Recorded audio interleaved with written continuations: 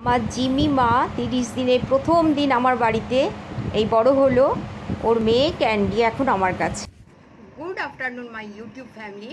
Welcome back to my আলাদা new blog. কেমন আছো তোমরা সবাই? আশা করি ভালো আছো, সুস্থ আছো। আমিও ভালো আছি। চলে যাচ্ছে আর কি। খারাপ কাটছে না দিনগুলো।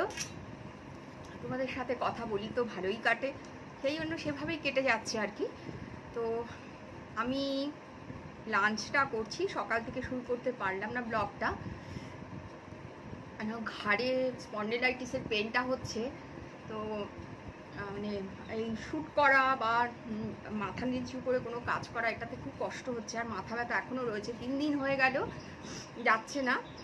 তাই সকালের দিকে শ্যুট করিনি, আজকের ব্লগটা হয়তো শর্ট হবে একটু। তো তোমরা কাল, গতকাল যেটা পোস্ট করেছি, দেখো তোমরা সবাই। ব্লগটা আর লাইক কমেন্ট শেয়ার করো সাবস্ক্রাইব করো যারা করনি। তো আজকে ব্লগটা শুরু করে দিলাম। এরপর যা হবে বা যা করব, তোমাদের সাথে নিশ্চয়ই শেয়ার করব। তোমরা আমার পাশে থেকো। ঠিক আছে, এখন তাহলে রাখি, খাবার খেয়ে নিই তারপর আবার কথা বলব। কাম কাম কাম, দাও দাও দাও দাও, বল দাও বল দাও বল দাও, বল না দিলে খেলা হয় না। দেখি দেখি দেখি দেখি দেখি তোমাকে। বলটা দাও। কই? কই ক্যান্ডি কই? বল দাও। দেখি সেট সেট দাও, বল দাও। দাও দাও না দাও না বলটা। এ না চা চা কাম কাম কাম কাম কাম। দাও দাও দাও বল দাও। বল দাও বল দাও বল দাও। ও, কম কম কম। আরেকজন তো একেবারে খাট ছাড়া বসতেই পারে না। দেখো বন্ধুরা, চারটে চল্লিশ বাজে এখন। দেখো মেঘ, দেখো আকাশে, কি সুন্দর ওয়েদার হালকা বৃষ্টি পড়ছে প্রচণ্ড মেঘ ডাকছে। জানি না বৃষ্টি হবে না এমনি থাকবে। দেখো। এই যে, প্রায় পাঁচটা বাজতে চলল। Good evening my YouTube family তোমাদের সবাইকে গুড ইভিনিং করে দিলাম। যেহেতু ব্লগটাও দেখাচ্ছি, শুরু করলাম আবার। দেখো, কত ভালো লাগছে আকাশটা, দেখো। আর সাথে আমার বন্ধুরা বৃষ্টি হচ্ছে, কিন্তু আসতে হচ্ছে। জোরে কিছু বৃষ্টি না, মেঘ ডাকছে। দেখতে পাচ্ছ তোমরা বৃষ্টি হচ্ছে, আকাশ একদম কালো। এই যে বৃষ্টি দেখো বন্ধুরা এই দেখো, বাইরের ঘরে এখন বসে আছে ডিঘানটার উপরে আমার সোনা মাটা। খাওয়া দাওয়া তো হয়েই গেছে। আর দুষ্টুমিও কিছুটা হয়ে গেছে।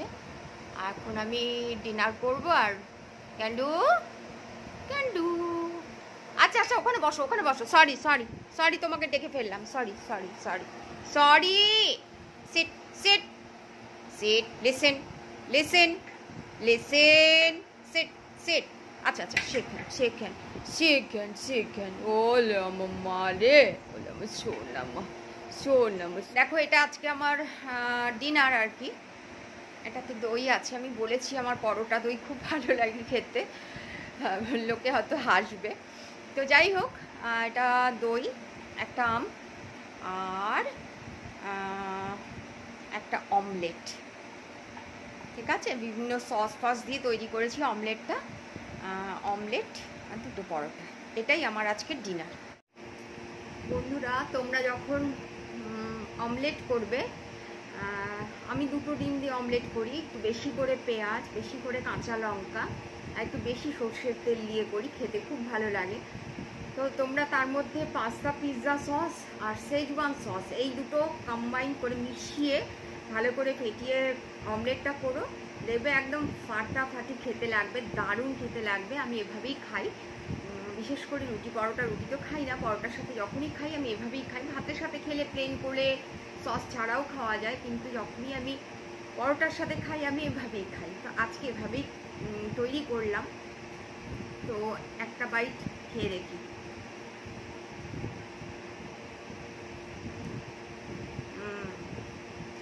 টু গুড এভাবে করে দেখো। ভীষণ ভালো লাগবে খেতে। আর আমি একটু ঝাল বেশি খাই, রান্নায় মিষ্টি কম খাই, আমরা বাঙাল। তো জানোই বাঙালরা একটুখানি রান্নায় মিষ্টি কম দেয়, ঝাল বেশি খায়। হ্যাঁ নিরামিষ রান্নাতে অল্প, খুবই কম, খুবই সামান্য মিষ্টি দিই। নচেত আর রান্না বান্না আমার একটু ঝালই তৈরি হয়। যারা কম ঝাল খায়, তারা আমার রান্না খেয়ে একটু হু হা এরকম করে। তো আজকেও আমার এই অমলেটে মোটামুটি ছ সাতটা কাঁচা লঙ্কা কেটে দিয়েছি আমি। যেহেতু আমি ঝাল ভালোবাসি। আর এইটা আমার খুব ভালো লাগে, এই দইটা। সেটা দিনেই বলো, রাতেই বলো। টক দই। চিনি খাই না আমি। বিট লবণ বিট লবণ আর গোলমরিচ দিয়ে এর মধ্যে। দিয়ে খাই, আমার খুব খেতে ভালো লাগে এটা। তো যারা মিষ্টি খাও, তারা তো তাদের কোনো প্রবলেম নেই। তারা চিনি দিয়ে খেতে পারো। যারা চিনি না খাও, তারা গুড়, বাতাসা এসব দিয়ে খেতে পারো। বাট আমি আমি এভাবে খাই। আর আমটা খুব ভালো সেদিন নিয়ে এসেছিলাম, দেখিয়েও ছিলাম তোমাদের। ভীষণ মিষ্টি। তো আমটা খাব। তো আজকের মতো না সরি তোমাদের টিপসটা দেওয়া হয়নি। আজকে তোমাদের একটা হেয়ারের টিপস দিচ্ছি।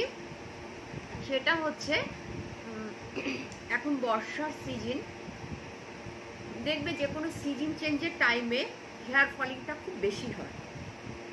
তো এখন মানে স্বভাবতই এখন ম্যাক্সিমাম মানে লোকের মহিলাদের হেয়ার ফলিং হচ্ছে। আমার কাছে যারা আসে পার্লারে তারাও একই কথা বলে যে ম্যাম আর একটু হেয়ার ফলিংয়ের কোনো রেমিডি তো আজকে সেই জন্যই বলছি, তোমরা চায়ের লিকার করবে।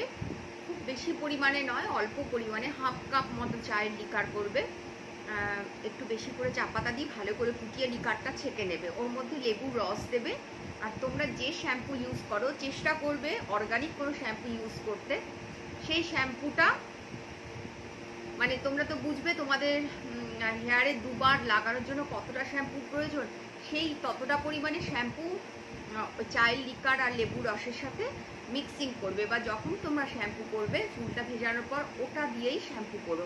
তোমরা এটা কন্টিনিউ করে দেখো। আমি প্রমিস করছি হেয়ার ফলিং একদম বন্ধ হয়ে যাবে। কেন আমি নিজে এটা করি এবং আমার কাছ থেকে যারা এই টিপসটা নিয়েছে তারাও তার রেজাল্ট বলেছে। খুব ভালো রেজাল্ট তোমরা আমার বন্ধুরা বা আমার বান্ধবী যারা রয়েছে, তারা যদি করতে চাও, করে দেখতে পারো। হেয়ার ফলিং একদম বন্ধ হয়ে যাবে। আর আজকের মতো ভিডিওটা এখানে শেষ করছি। টাটা। তোমরা সকলে খুব ভালো থেকো, সুস্থ থেকো, আনন্দে থেকো, হাসি খুশি থেকো। আবার দেখা হবে অন্য কোনো দিন, অন্য কোনো সকালবেলা Bye.